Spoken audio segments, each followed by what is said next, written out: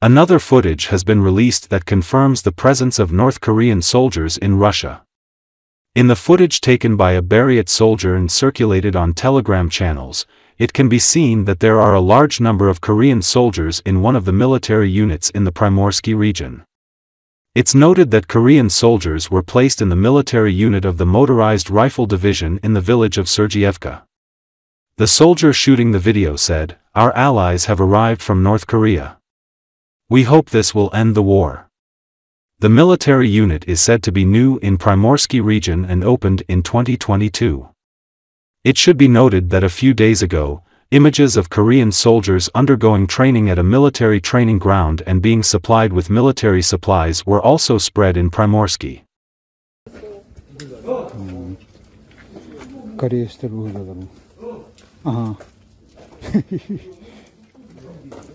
そういうテレビってもじゃあごじゃシベリニカリオータルそういうテレビだかっさきかてびヘリヘメテレに見てるじゃん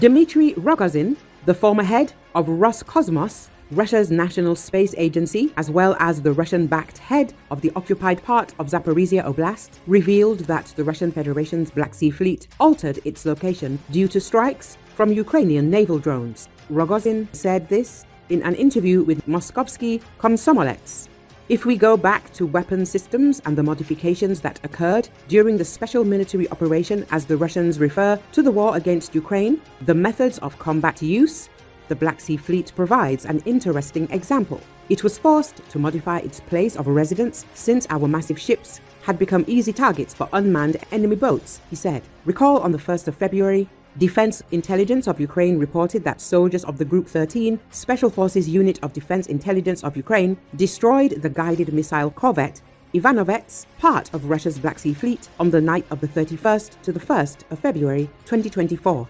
On the 4th of August 2023, the Security Service of Ukraine conducted a special operation in Novorossiysk Bay, Russia.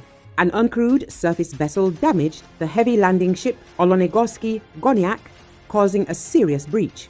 Ukrainian intelligence stated that due to Ukrainian attacks on the Russian Navy, the Russians are trying to establish a naval base in Otchamchiri, a town in the Russian occupied Georgian region of Abkhazia.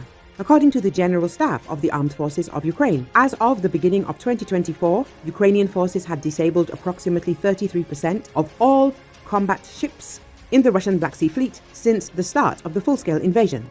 Ukraine's remarkable success in the Battle of the Black Sea has had significant practical implications for the wider war. It has disrupted Russian logistics and hindered the resupply of Russian troops in southern Ukraine while limiting Russia's ability to bomb Ukrainian targets from warships armed with cruise missiles. Crucially, it has also enabled Ukraine to break the blockade, the country's Black Sea ports, and resume commercial shipping via a new maritime corridor. As a result, Ukrainian agricultural exports are now close to pre war levels, providing Kiev with a vital economic lifeline. The Russian reaction to mounting setbacks in the Battle of the Black Sea has also been extremely revealing and offers valuable lessons for the future conduct of the war. It has often been suggested that a cornered and beaten Vladimir Putin could potentially resort to the most extreme measures, including the use of nuclear weapons. In fact, he has responded to the humiliating defeat of the Black Sea Fleet by quietly ordering his remaining warships to retreat. This underwhelming response is all the more telling given the symbolic significance of Crimea to the Putin regime. In its efforts to destroy Ukraine's statehood, the Kremlin is increasingly forced to rely on foreign labor for its military industrial complex and now on foreign troops. This demonstrates the inherent weakness of Russia itself, which is unable to fulfill the whims of a president, according to an editorial in the British newspaper The Guardian. Journalists note that around 1 million soldiers are believed to have been killed or wounded in Russia's war in Ukraine. In addition to the vast Ukrainian civilian and military toll, average Russian casualties reportedly rose to a new height of more than 1,200 soldiers a day in September. Russia has four times as many men, but a war described by its fighters as a meat grinder is rapidly diminishing the ranks and using conscripts as a political cost. On some estimates, seven times more Russian soldiers have died since the invasion than Soviet troops died in Afghanistan in a decade. It is noted that Russia's population is four times larger than Ukraine's, but the Kremlin is still forced to import not only weapons but also people. The policy of stimulating the birth rate in Russia has generally failed. The country's population is shrinking and aging, which is why labor migrants have become a common sight in Russian cities. But the pandemic and then this full scale war upset this balance. Now, the Russian economy lacks about 4.8 million workers, and the front in Ukraine only worsens the situation, constantly sucking more and more people out of Russia. The authors of the article emphasize against this backdrop, the Kremlin has tried to attract foreign mercenaries, enticing citizens of India, Nepal, and other countries to military service with money. Now it has reached North Korean soldiers. At the same time, citizens of African countries are being recruited to work at military factories, which became known recently. President Vladimir Putin's bid to annex territory into a greater Russia is being backed by foreign military personnel and workers. It says less about the strength of growing alliances, worrying as they may be, and more about the fundamental domestic problems his country faced even before he launched the invasion that has devastated Ukraine and killed so many of Russia's own citizens. The Guardian concludes.